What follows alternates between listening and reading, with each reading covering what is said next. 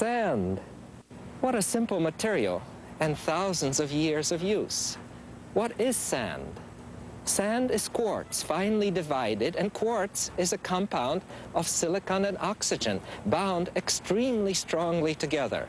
And it's only in this century that we've learned how to break apart that bond efficiently and economically and to make large quantities of pure, very pure silicon. It's changed our lives. The silicon revolution is only 40 years old. Isn't it ironic? The new information age being shaped from simple sand?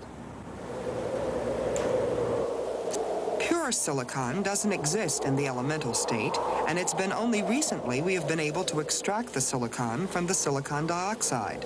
As a result of Pfann's work in purifying silicon, it became possible to design and build transistors which replace the vacuum tube.